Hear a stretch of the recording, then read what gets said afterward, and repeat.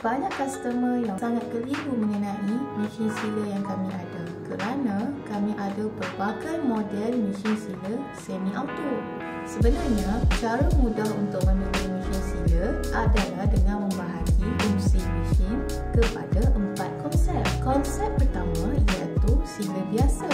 Maksudnya, mesin ini hanya melakukan proses seal. Nama model ialah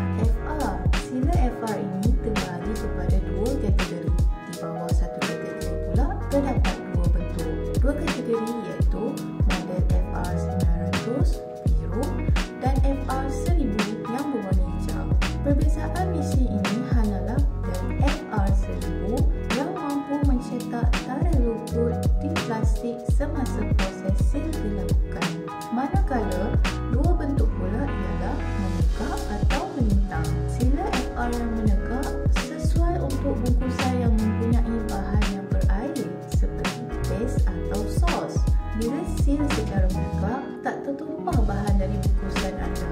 Manakala sila FR yang melintang sesuai untuk semua jenis bahan. Konsep kedua ialah mesin model yang sama bentuk dengan model FR 900 biru melintang tetapi mempunyai fungsi tambahan iaitu air blower di mana dapat membuatkan bungkusan makanan kembung. Ini bagus untuk mengelakkan bahan seperti keripik dan keropok yang rapuh dari pecah. Manakala konsep ketiga ialah mesin sealer yang membantu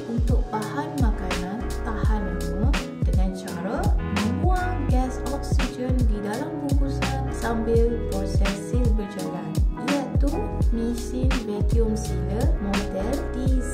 Model vacuum DZ ada berbagai jenis. Anda boleh merujuk video sebelum ini untuk maklumat lanjut mengenai mesin ini. Bahan makanan akan lebih tahan lama sekiranya tiada oksigen. Konsep terakhir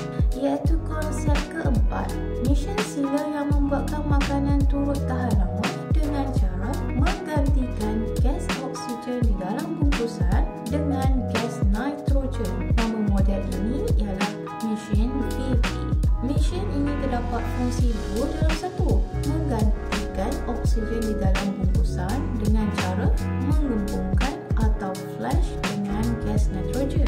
Dan cara kedua, mengejutkan bungkusan dengan gas nitrogen. Keempat, empat konsep ini membuktikan secara teori mesin VP dan DZ adalah paling bagus dari segi ketahanan makanan. Tetapi, faktor utama yang mesti diambil kira juga iaitu kesesuaian makanan dengan bahan nitrogen ataupun keadaan vacuum.